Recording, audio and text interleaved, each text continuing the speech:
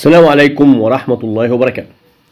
امبارح نزلنا خبر تحديد مصير تحديد مصير التشعيب. وزير التعليم هو اللي قال كده.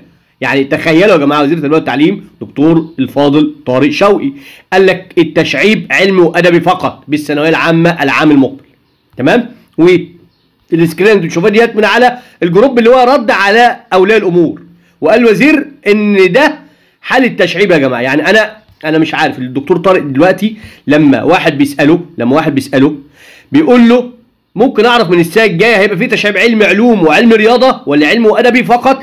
قال له هيكون علمي وأدبي فقط من عام 2021 أما الآن على صفحة الدكتور طارق شوقي موضوع التشعيب في الثانوية العامة ما يزال قيد البحث في المجلس الأعلى للتعليم قبل الجامعي ثم المجلس الأعلى للجامعات والأمور تظل على ما هي, عليه بعيدا عن ما يقال هنا وهناك.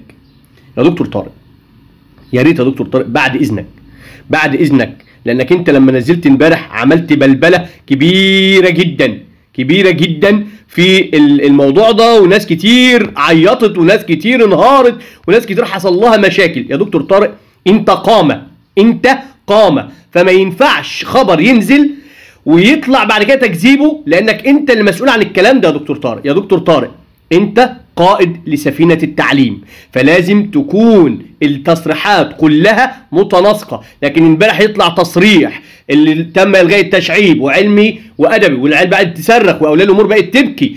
النهارده يطلع من من ما فيش موضوع التشعيب في الثانوية العامة ما يزال قيد البحث. يا دكتور طارق بنقدم لك كل الشكر والتحية بعد إذن حضرتك. نزل لنا الأخبار على صفحتك مباشر زي ما أنت بتعمل كده.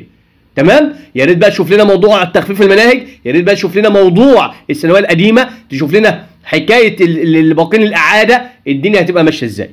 ده يا جماعة موضوع التشعيب على صفحه الدكتور طارق موضوع التشعيب في الثانوية العامة ما يزال قيد البحث في المجلس الأعلى للتعليم قبل العام الجاي قبل الجامعي ثم المجلس الأعلى للجامعات والأمور تظل كما هي عليه رغم اللي كان منزل امبارح ده الخبر وعكسه وكده الدكتور طارق بيقول لكم استنوا شوية.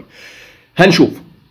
كل يوم بنسمع جديد وكل يوم هنشوف جديد وتابعونا أول بأول مع قناتكم قناة أجيال الأندلس. في أمان الله. اشترك في القناة وفعل زر الإشعارات وأيضا لا تنسى دعمنا بلايك.